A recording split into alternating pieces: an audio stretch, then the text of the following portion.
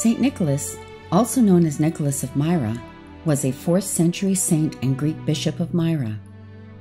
Nicholas was born in Asia Minor in the Roman Empire as the only child to Christian parents. Both of his parents tragically died during an epidemic, leaving him to be raised by his uncle, the Bishop of Patara. His uncle mentored him as a reader and later on in life ordained him as a priest. Nicholas had a giving and charitable heart from a young age.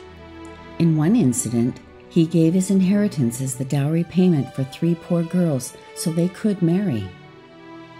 St. Nicholas was chosen as Bishop of Myra during the 4th century persecution of Christians, and as the chief priest of Christians, he too was tortured and imprisoned. In several incidents throughout his life, Nicholas appeared to men in power, insisting they free innocent men from prison and executions.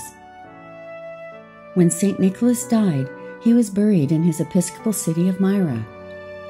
In 1087, when Myra fell to the Saracens, his relics were moved to Bari.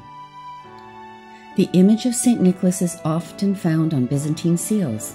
By the later Middle Ages, nearly 400 churches in England alone were dedicated in his honor. He is said to have been represented by Christian artists more frequently than any saint, except Our Lady.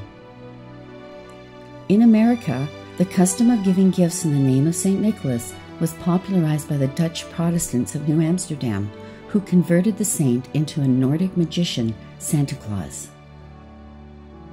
St. Nicholas is the patron saint of children, sailors, fishermen, merchants, the falsely accused, Russia, and Greece.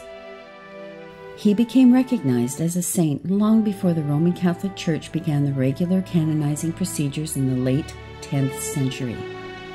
His feast day is on December 6th.